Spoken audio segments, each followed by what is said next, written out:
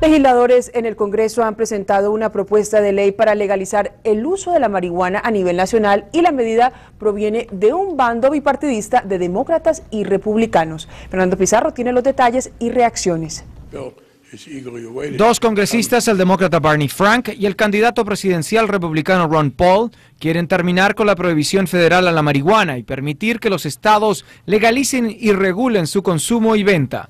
Expertos creen que la marihuana debe ser regulada como el tabaco. Dos congresistas de posiciones políticas diferentes están presentando una propuesta para no necesariamente legalizar la marihuana, sino que dejarle a los estados el derecho de seguir legalizando este producto.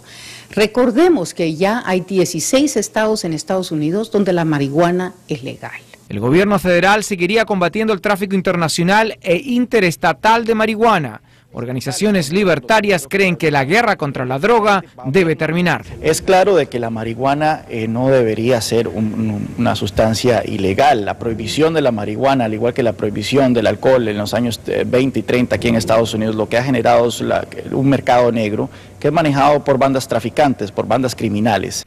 Muchos jóvenes hispanos terminan dentro del sistema judicial por consumo y posesión de marihuana. La criminalización de la marihuana es un gran problema para los latinos en Estados Unidos.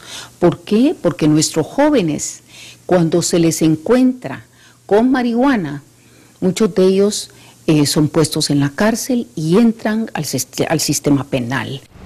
En todo caso, partiendo por la Casa Blanca, hay mucha oposición a una legalización federal de la marihuana y otras drogas. El gobierno piensa que se debe seguir combatiendo al narcotráfico.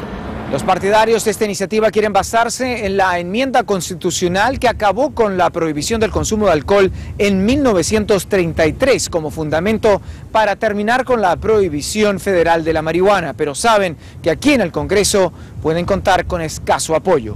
Desde Washington, Fernando Pizarro, Univisión. Tiempo de una primera pausa, pero ya volvemos con más información.